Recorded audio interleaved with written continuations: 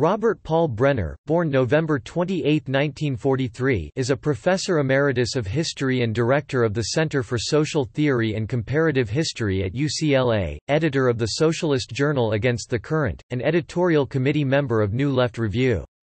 His research interests are early modern European history, economic, social and religious history, agrarian history, social theory, Marxism, and Tudor Stuart England. He has contributed to a debate among Marxists on the transition from feudalism to capitalism, emphasizing the importance of the transformation of agricultural production in Europe, especially in the English countryside, rather than the rise of international trade as the main cause of the transition.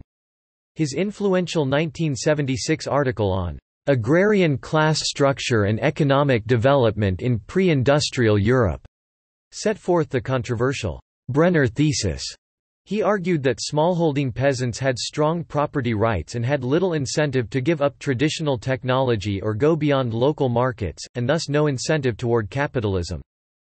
In the spring of 2017, Brenner and Vivek Chibber assumed editorial duties and co-launched the academic journal Catalyst, a journal of theory and strategy, with the assistance of Jacobin magazine.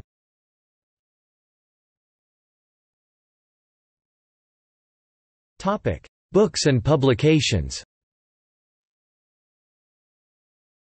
1976, Robert, Brenner. Agrarian Class Structure and Economic Development in Pre-Industrial Europe. Published by Past and Present. JSTOR 650345.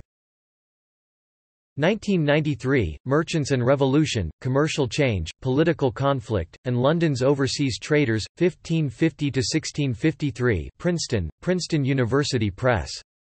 ISBN 0-691-05594-7 2002, The Boom and the Bubble, The U.S. in the World Economy New York, Verso ISBN 1-85984-636-X 2006, The Economics of Global Turbulence, The Advanced Capitalist Economies from Long Boom to Long Downturn, 1945–2005 New York, Verso ISBN 978-1-85984-730-5 2009, Property and Progress, The Historical Origins and Social Foundations of Self-Sustaining Growth London, Verso ISBN 978-1-84467-318-6